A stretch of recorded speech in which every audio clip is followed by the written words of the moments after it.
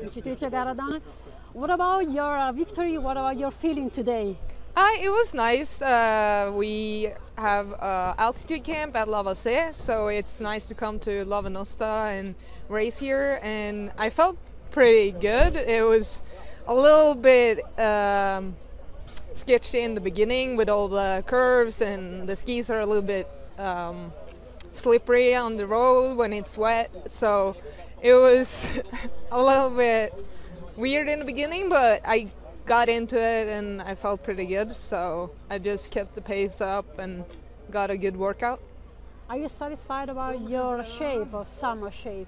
Yeah, I think it's been pretty good. I've um, got a, gotten a little bit better uh, from last year to this year, and I still progress for every month. So I still feel good, and I'm really excited for the winter. So it, Yeah. it will be fun. Which is your goal for the winter? Uh, I really want to fight for the green bib, and then I want to take the step up on the podium.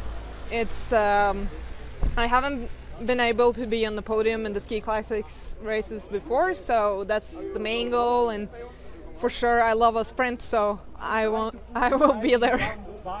Thank you so much and good luck. Thank you.